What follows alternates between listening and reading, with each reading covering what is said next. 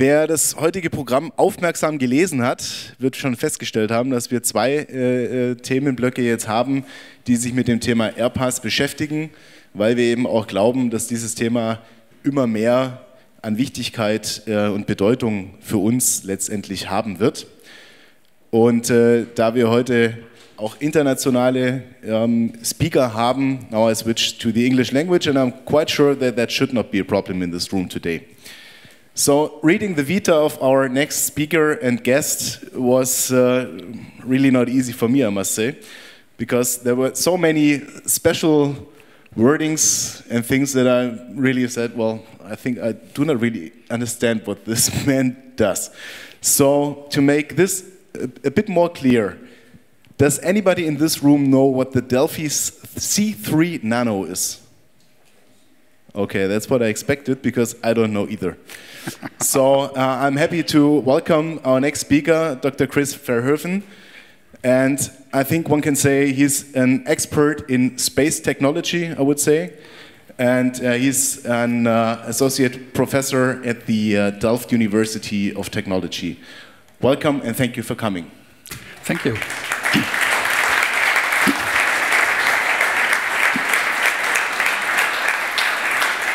Yeah, thank you for uh, inviting me. Uh, uh, the university is, is very grateful that I can speak to you because the response I get from you will be very important for the work we are doing. So, uh, so I'm uh, going to talk to you about autonomous uh, creatures, and I know you are afraid of them, and I am very interested in how you will react on the story I will be telling you. Uh, I'm team leader in uh, two institutes we have in Delft, in the Space Institute and in the Robotics Institute. Uh, maybe today uh, the Robotics Institute is the most interesting institute uh, for you. Uh, all faculties of the university work in it. It has three themes, two themes of robots that work together with people, and one theme that is uh, swarm robots, and that is the team I lead, and there we work on things like this. So uh, underwater uh, robots in two labs we have, a rocket lab and a cyber zoo. Underwater robots where we build swarms with uh, uh, rovers, of which we are planning to have one on the moon. We work on autonomous uh, drones.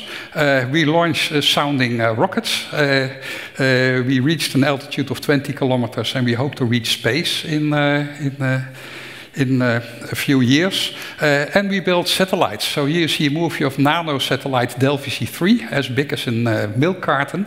And it is already in space for nine years and working. So normal commercial off-the-shelf technology just does work in space. So from this theme and from this robotic institute, I'm going to tell you about, uh, about robots. Uh, as you see in the title, I changed it a little bit. Uh, I uh, corrected, piloted for commanded, and I hope after the presentation you understand why I did that. And also immediately I want to trigger your imagination by showing you the other title I frequently use for this presentation. Remember this, we are going to talk about robots and their special things. That means I'm going to talk about robots, the people that make them, and society, you, that are going to, uh, to use them. So what is the first contact? How uh, do we domesticate them? give feedback to us, and of course, how are we going to be dependent on the, uh, on the robots? So first, robot. What is a robot? Well, for a long time there have been moving, uh, moving machines. Like here you see the Silver Swan, you can see already in 1773, which is also the years when uh, Mr. Babbage invented the mechanical computer and Ada Lovelace invented software. So everything started then, you could say. But the Silver Swan is quite disappointing in the sense that it is a moving machine, but it doesn't respond to the environment. Uh, there are other robots uh, that do respond to the environment. Uh, some of them have uh, fixed reflexes, and some of them have real autonomy. And I think the only really interesting robots for me are the robots that are on that side. So robots that can move, that can sense, and that can think about what they sense and then do some decide to move in a certain direction. And then to my surprise, when I used this definition, I saw that uh, plants meet with this definition. So here you see, a plant knows where the sun is, and it can decide to move in the direction of the sun. But it is very slow. And then I thought, yeah, that's because the thinking is chemical thinking. Then you can go to the next phase, you can go to electrochemical thinking, and then you see it's faster. And then, of course, you can go to the next step. What about electronic thinking? So I went to Hannover Messe last year. I will do the same next, uh, this uh, next week. Uh, and I saw robots that actually were moving faster than uh, humans can follow them. If you see the people in the back, you can see the, the movie is not uh, sped up. This is how fast it is. And it is even half speed because it's not securely fixed here as it would be in a factory, the people told me. So if you see this, then you see some kind of an evolution. Chemical thinking, electrochemical thinking, electronic thinking. And at some point in Delft, we decided it doesn't look like evolution, it is evolution. So this is what is happening now. So if you uh, look at the taxonomy of plants and animals, here we are. Now something special is happening here. New animals are yeah, coming, to, uh, coming to life. We call them the electroids electric animals. So because of us, we get electric animals. In 100 million years, those electric animals will say, yeah, 100 million years ago there was a chemical blob and they did something and here we are. So, uh, so that's what, uh, what happens. So we think, and maybe you should also think, that robots are the next step in evolution. So they are electric animals. And if you start thinking like that, and I do this with politicians, elderly people, school children, you can think of many different applications for robots, many more than we can think of now. Uh, especially when you think about the properties of these animals. So they have an electronic nervous system, electric muscles, and radio contact. And what does that mean? It means that they're faster, they're stronger, and they're telepathic. They can communicate with each other. We can't. Uh, if you want to say something to your neighbor, I will see it. If you were robots, I wouldn't be able to see this.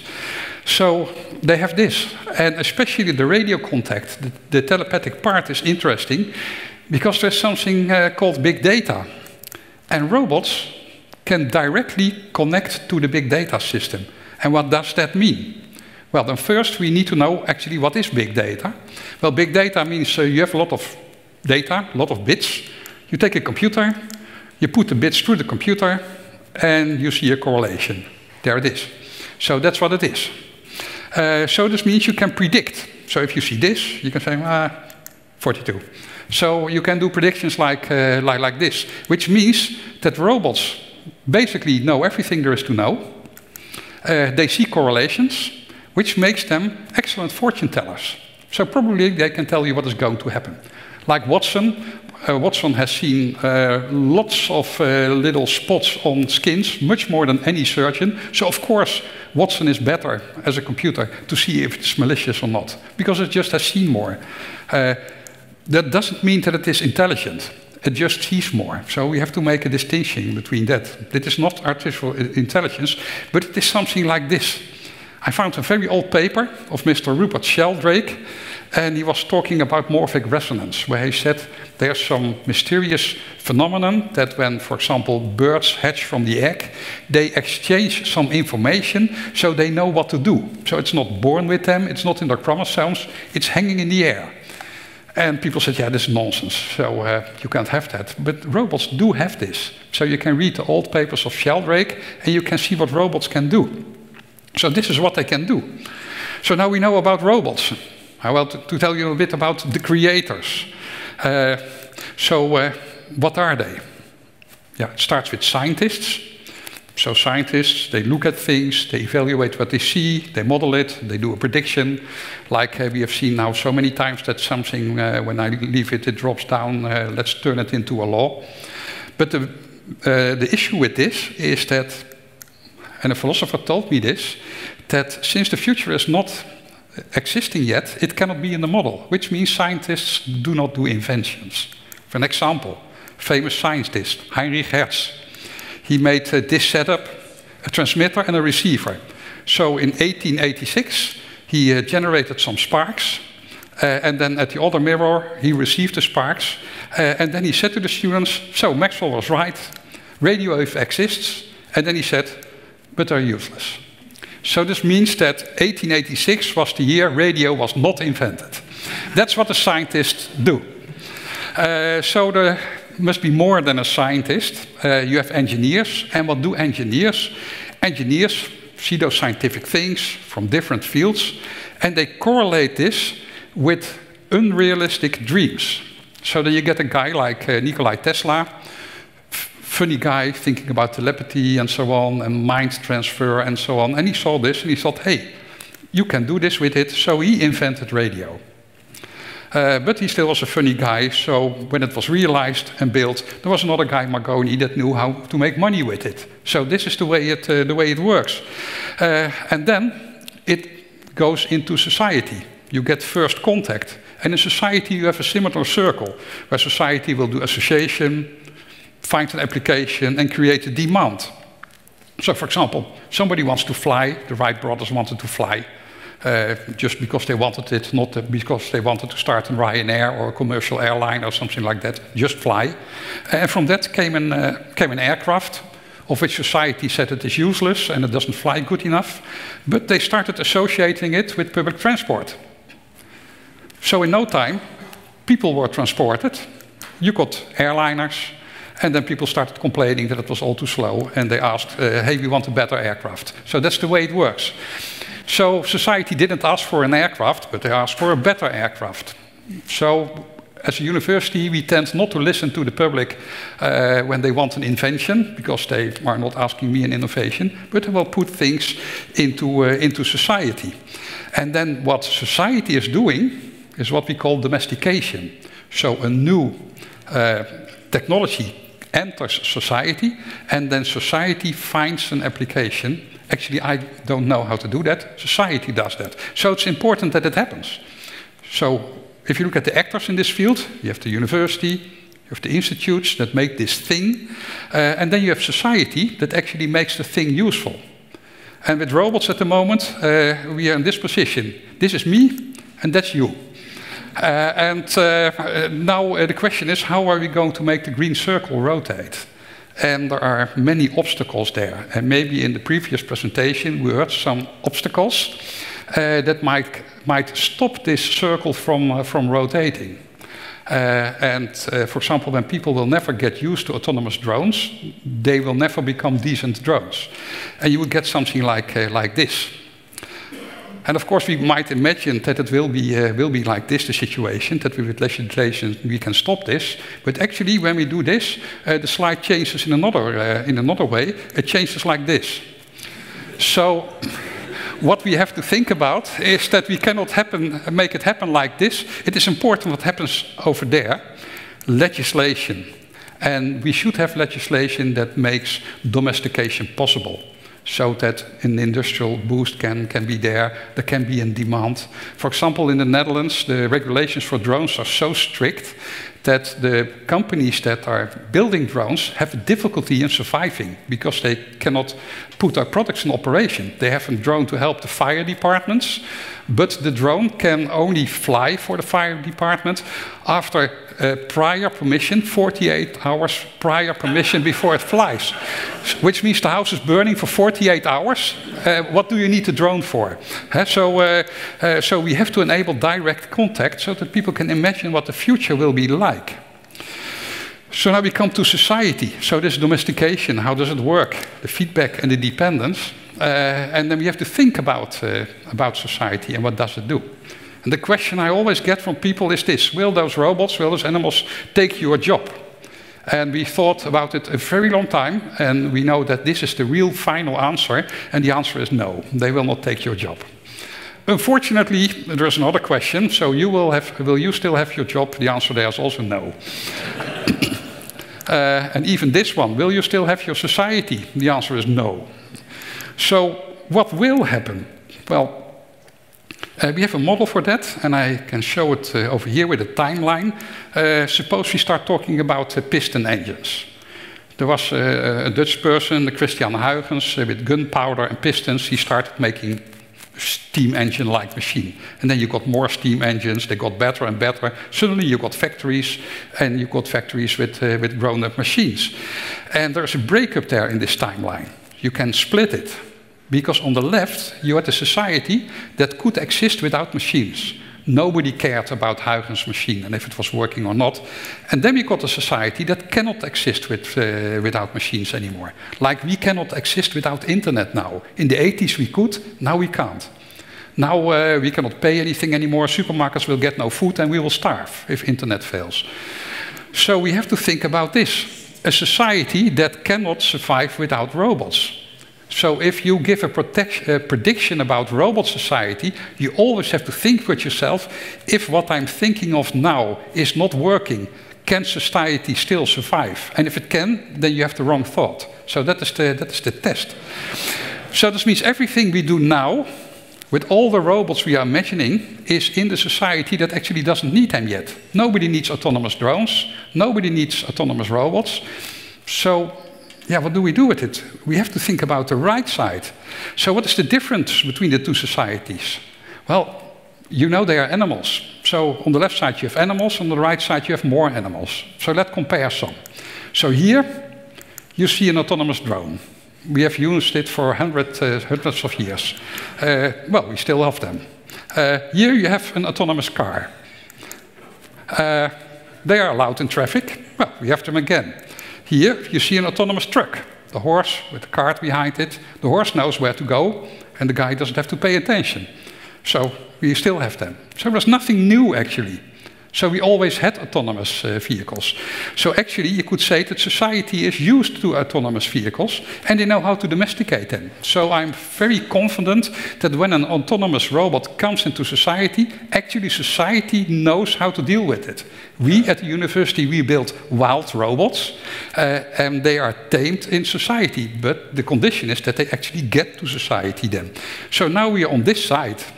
So how about that side and how about those animals? Well, let's look at this, uh, this new society. Then we have to think that we have those animals that are faster, stronger, telepathic, know all, everything there is to know, actually see all correlations, and they are perfect fortune tellers. What does that mean in this society? Well, let's talk about autonomous drones. Uh, well, you have a picture like this. Uh, I think you're not very happy if, uh, if you're in the aircraft that is uh, in this picture. but maybe you also have been in this situation, scuba diving. Have you ever tried to touch a fish in the school? You can't, because they are faster. Uh, so what is the matter here? So here are the actors, the pilot, the bird, and the drone, the autonomous drone. Well, why keep birds down in aircraft? Because birds are stupid they don't know what an aircraft is, they don't know where they go, and they don't know they are going to die. Uh, but look at the more modern uh, aircraft, uh, the more modern animals. They are telepathic, they can predict. Fully autonomous drones will know when an aircraft is coming, what the wind is, who is the pilot, what the pilot usually does when he sees a drone. So the pilot, the, the drone knows more than the, than the pilot, and it is really fast. So it would be quite stupid that if somebody with a joystick is looking in the, oh, there's an aircraft, and try to get away with his reaction speed of maybe a quarter of a second. And when an aircraft takes off, then this quarter of a second is uh, maybe 25, uh, 30 meters. So no way that a pilot, even if he can see it standing next to it, can make a drone ev evade uh, the aircraft. But an autonomous drone will never do that. So autonomous drones are safer than birds. So if you can choose, I would choose for autonomous drones and not for birds. So what is the matter there actually? So what, what, what, what is the, the, the essence of the whole story? Is that humans must leave the control loop. You say the drone has to be inside of the, of the person, well, better not. Let the drone decide by itself. That is better. But the person must have said to the drone, I don't want you in the neighborhood of aircraft. We have to be in command, not in control. We cannot control them, but we can command them. That is very important. And that has even more, uh, more, more far uh, consequences. For example, look at this animal. Uh, it can also be this animal. So if a dog bites you, uh, who is to blame? It is the boss that said to the dog, bite him, and the dog does this. So uh, if we talk about uh, drones, and here you see an, uh, a time lapse of one of our autonomous drones, and I bet that if this one goes through your engine, you don't even notice. So maybe also drones are intrinsically safe. Uh, but you can also think about this. We get questions about these, uh, these drones. You could call them aggressive uh, drones. Well, what is the problem here? The problem would not be this. If somebody commands a drone to do something nasty, he's in command. The silly thing is this. So people with a joystick get the command to make a drone do something. Here you see people in the control loop. So if you look in this loop, this is not a good thing. Humans should not be in the control loop. I think that if you look at face recognition, and I would tell an autonomous drone that it should attack somebody, then the best chance the right person is found when the drone, with the pattern recognition, can recognize the person itself. And not somebody remote via satellite connection on the screen, maybe it is the guy.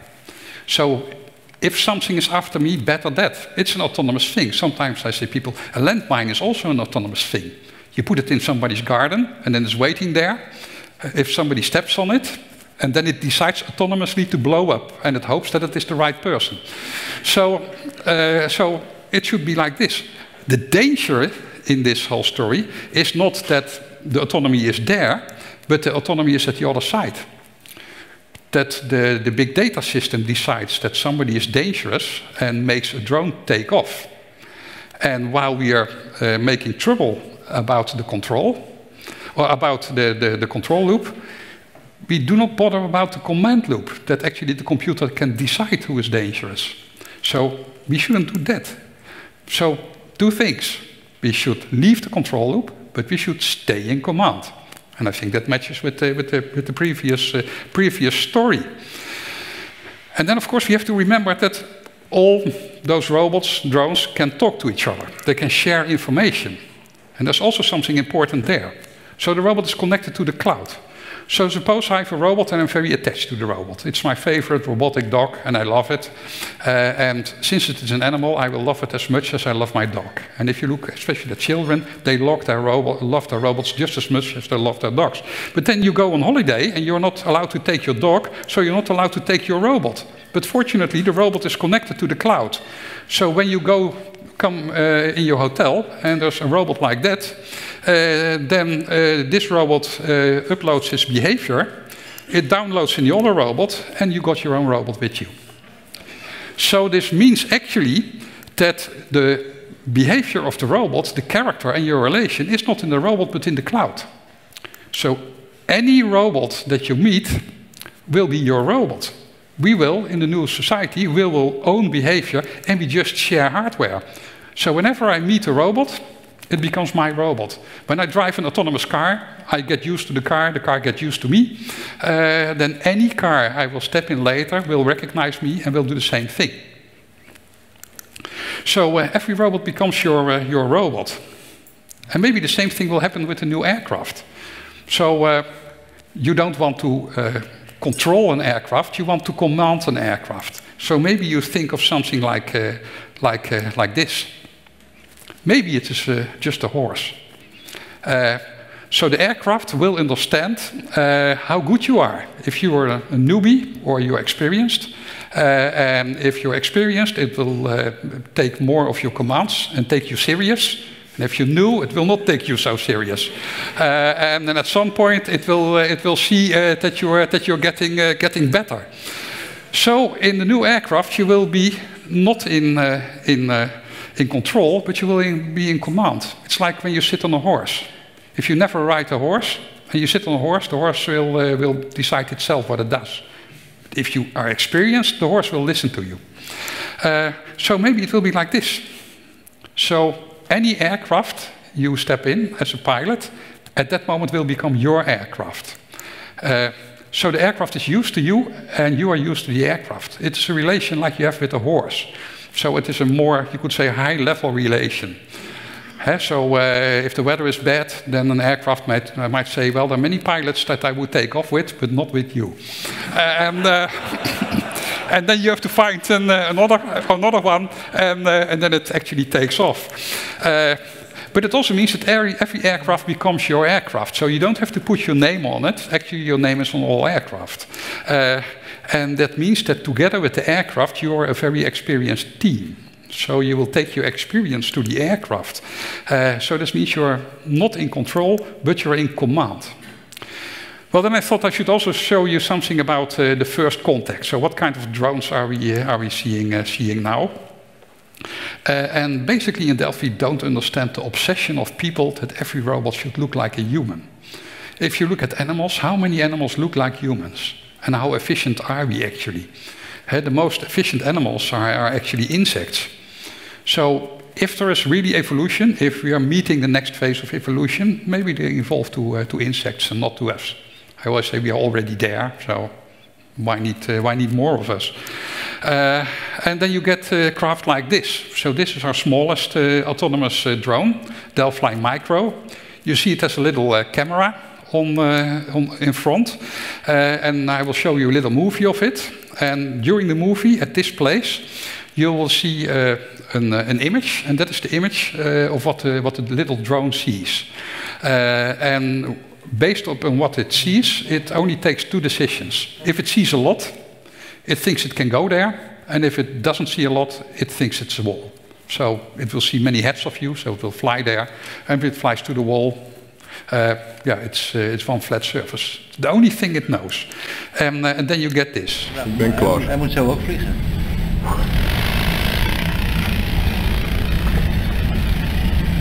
Je moet uh, hard draaien. So you see, it flies around like a bird. Actually, when people don't know it's flying, they think it is a bird.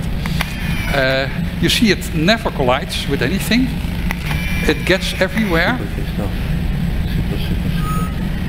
So this is something you can expect. And, uh, and, uh, and, and, one of the things we, uh, we think we could do is make it afraid of uh, people, make it afraid of aircraft and so on. So then it will never be in the, in the neighborhood. So what can an aircraft like that do? Well, it could be what we call a self-deploying sensor swarm. Here you see a, a lot of them. The red zone is the zone where they don't want to see anything, so to keep themselves safe. But in the green zone, they would like to see another drone. So that makes them swarm. Just these, uh, just these little rules. Uh, so we looked at, uh, at birds again, and, uh, and maybe you know, uh, uh, say, phenomena like this. And Italian scientists have been able, I don't know how they did it, but they have been able to track individual birds in these swarms. And they found they only have three rules. One rule is keep distance. They look at maximum seven birds in the neighborhood and they take, uh, keep proper distance. So they move away from the closest birds. Then the, the second rule is uh, sync direction. So with the other seven birds, uh, sync direction, uh, but don't go too far away. So if you're too far away, move, move closer. If you put these three rules in a simulator, you'll get a swarm like, uh, like this. Nothing more than that. So we thought, let's, uh, let's program that. So with these little drones, we started programming this. And here you can see a recording of two little drones with us in the cyber zoo. And they are only doing this, the two of them. So they're, they are aware of each other's distance. There's a camera system that uh, prevents them from flying uh, into the net. But for the rest, they just see each other. You see the operator is doing nothing. And they hang around each other like mosquitoes, something like that. And if you put more in there, then at the moment they, they crash. But when we get the software better, then they will swarm like this question is, what would you do with that? Well, maybe you will see them very soon, uh, because we think uh, maybe you will have something like this. We found that you can make uh, electronic noses chip-wise, so with a nano wire on it, uh, and they can sense molecules of explosives or drugs, and apparently also money. Uh, so uh, drones like this will be able to smell drugs and explosives on the airport. And if you have a swarm like this, the swarm will be everywhere, so it will be virtually impossible to escape from the swarm. And if you have explosives and you don't want them, and you take a newspaper and you start slamming them, you're still attracting attention. Uh, so that doesn't work. So there's no escape. The, swarm is, is strong. Yeah, and for the rest, uh, it's not an issue with, uh, with privacy and, and, something like that because you only look at, at the drones. So if you see a person with a lot of drones around him, oh, you know, fingers in your ears and, and be gone. So, and, and, we think this is very close. So drones like this.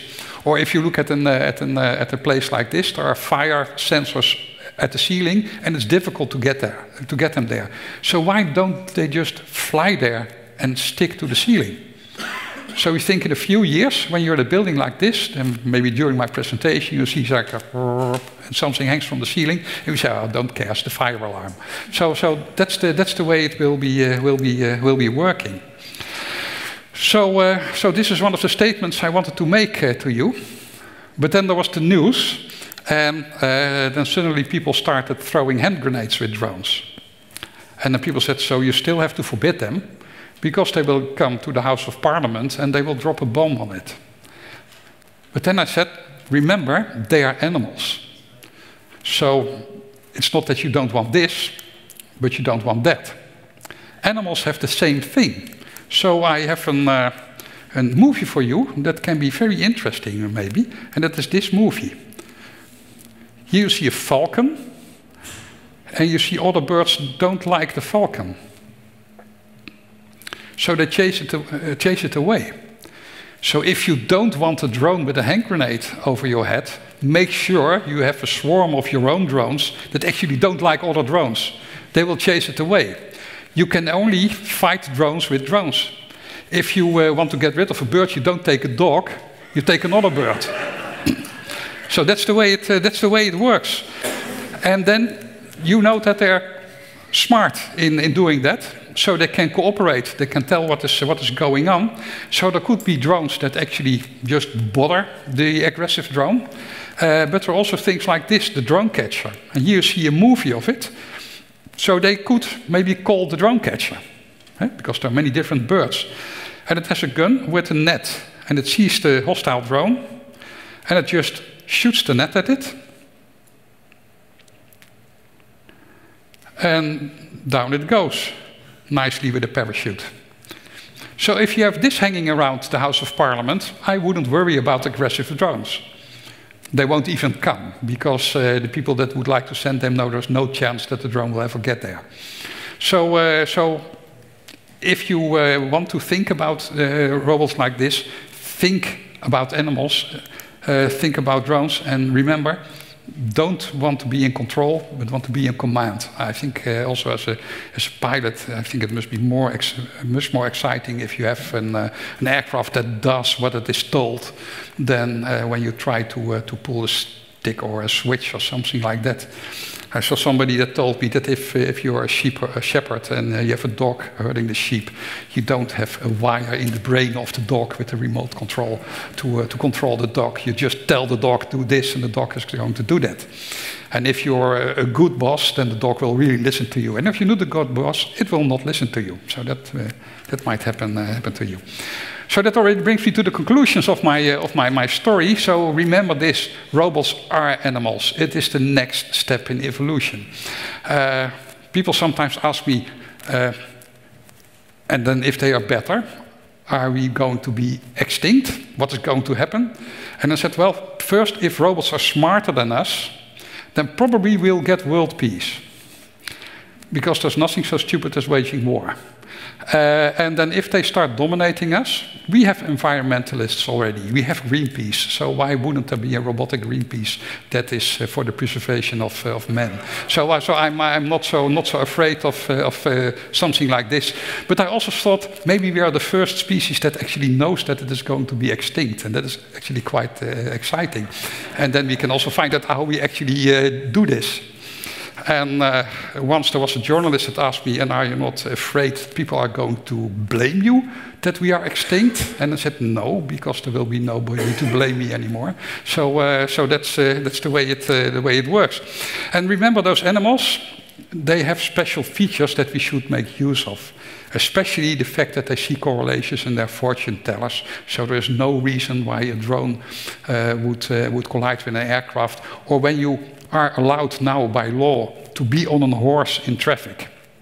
And if you look in horse law, horse law says horses are autonomous creatures with partly unpredictable behavior. And you're allowed in traffic. And if there is an accident, nobody says, let's stop with horses in traffic. Now you get an autonomous car, and it's better than a horse. Because it sees everything the horse does, and it has radar, and it talks to all the neighboring cars uh, on what's going on. So maybe in, uh, in some days, uh, we had a discussion during the break, you will not be allowed in traffic anymore with your normal car because it doesn't know how to behave. So that is maybe the, maybe the, maybe the future. And we have to take care with legislation that we can do the domestication. So we have to allow autonomous cars in traffic, otherwise we will never learn how to do it. And society will never learn how to deal with it. And we will never learn how to deal with, uh, with, uh, with, with drones we need, uh, we need direct contact. And uh, for example, you as, as, a pilot, you need to experience that autonomous drones are safer than birds. At some point, you will love the drones on the airport that are chasing away the stupid birds. Because you know the bird, uh, what, what would you prefer? Uh, give, me the, give me the drone. so, uh, so remember this, safer than, uh, safer than birds, very important. also, if you look at the behavior we will own behavior. Behavior is in the cloud, and we share hardware. So maybe we crowdfund some cars, uh, and uh, the cars will know when to be uh, when to be where. So we will have something like this. Uh, every aircraft will be used to you. Uh, every aircraft will become your aircraft. You will form an experienced team, and that will make everything just uh, just safer. Just safer when you're in control and not in command. well, that is what I wanted to to tell you. Thank you for your uh, attention.